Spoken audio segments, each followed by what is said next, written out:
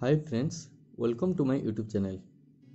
Now I will show you the currency from Czechoslovakia. It is the country in um, Europe and the currency is called Czechoslovakia korun. It is a beautiful 20 korun which is mentioned here 20 and here is korun um, which was the issue of 19 and 88 it is the issue here which is mentioned here 1988 and 88 and it is the front side of this note. Front side represent the picture of Jan Amos. Um, Jan Amos is the philosopher of Czechoslovakia. And on the top it is the picture of the coat of arms of Czechoslovakia. And here is mentioned this serial number of this note and it is the back side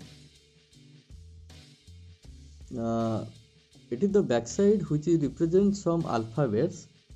Uh, here is some alphabets and it is the it is a flower with leaf. Uh, here mentioned here. And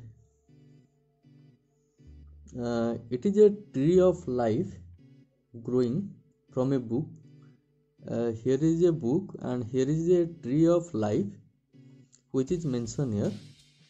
And it is the picture of a beautiful couple of Czechoslovakia. It was the back side and its size is 137 millimeter. This side is 137 millimeter and this side is 67 millimeter. I have this beautiful banknote from Czechoslovakia